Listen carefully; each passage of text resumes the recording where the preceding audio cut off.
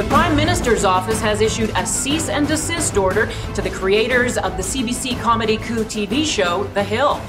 Joining us now, the Prime Minister's press secretary, Dylan Fies, and creators of The Hill, AJ Demers, North Darling, and Rebecca Northan. Top question Is the Prime Minister overreacting? Absolutely not.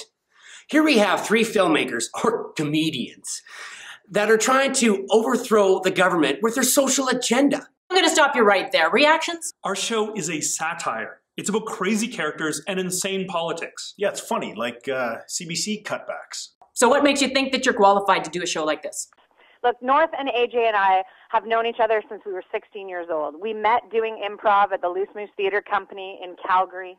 AJ has a master's degree in screenwriting. North has been in politics for years.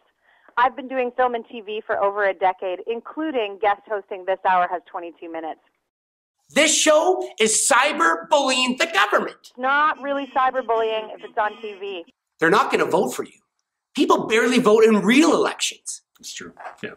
And knowing the CBC, they're going to make the online registration way too difficult anyway. Tell us what you think on Twitter by sending us a tweet to at the Hill TV Show. Coming up next, a new trend in infant plastic surgery. What's right for your baby?